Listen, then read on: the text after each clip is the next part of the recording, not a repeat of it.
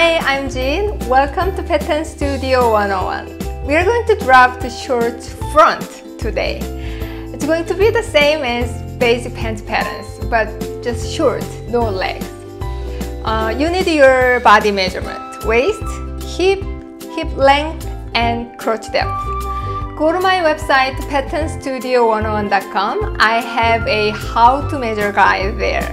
You can download it for free. One thing I want to point out before we start is that I'm going to add only one inch ease at the hip. I'm not going to add any ease at the waist and this one inch ease for the hip will be on the back panel.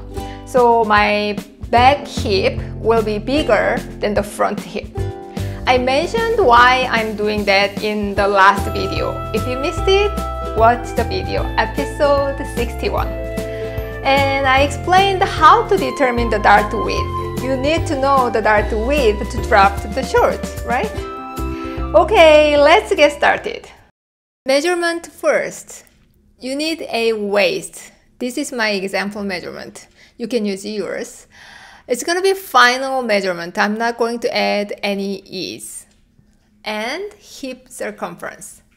This is the body measurement. I'm going to add 1 inch is only on the back panel later when I draft the back. And you need hip length and rise height. To calculate the dart width, find the drop.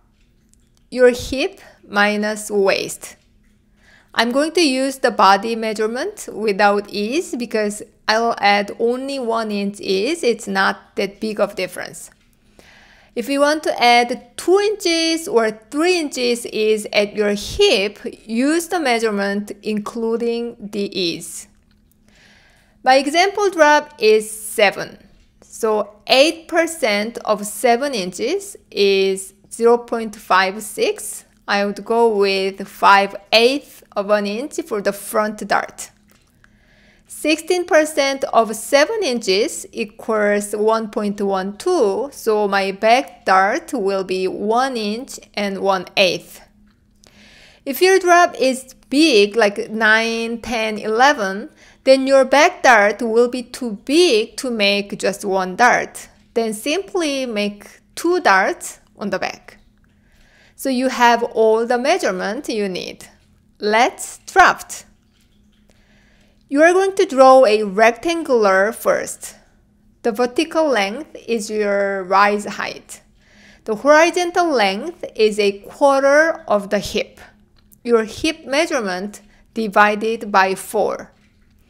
From the waistline, measure the hip length and draw a line. Because you are drafting short, draw a hemline 3 inches from the crotch. So here's your waist. This is your hip line. This will be your crotch line. This is the hem. Here's the center front. This is going to be your side seam. You're going to extend the crotch line from the center front. The length would be hip divided by 16.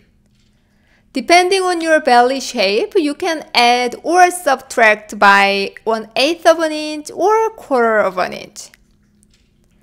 And then find the midpoint of this whole crotch line and draw a perpendicular line. This must be perpendicular to all other lines, waist, hip, crotch, and the hem. On top of this base frame, we are going to start to draw the front. You are going to calculate a quarter of your waist plus front dart width. You know your front dart width, 8% uh, of your pants drop. From the center front, measure a quarter of your waist plus front dart width and draw a side curve to the hip line. If you like your side seam curve, that's good. But depending on the drop, your side seam curve might be too curvy. If you think it's too curvy, then you can move your whole waist towards the side seam, quarter of an inch or maximum half of an inch. then you're going to have a new center front line. So play around like this to find the curve you like. Go back to my pattern. On the waistline, go down quarter of an inch and draw a new guideline because I want to lower the center front to keep the side seam right angle. Draw a waistline, 90 degrees at the side. Front dart will be on the crease line. Find the midpoint of your hip length and go up 3 quarters of an inch. This is the front dart length. On the new waistline, mark a half of your dart opening each side and draw a dart. When you draw the dart legs, extend by 1 8th of an inch or 1 16th of an inch and merge to the waistline nice and smooth. Once you sew the dart, the waistline uh, will be nice and smooth. So this is your front waistline. Next, the crotch. When you draw this crotch curve, it should connect very smoothly to this center front. From the crotch point, draw a vertical line and go in half of an inch at the hem. Draw an inseam. For the outseam, draw a straight line to the hem and go in half of an inch and connect to the hip. This is basic short front in green.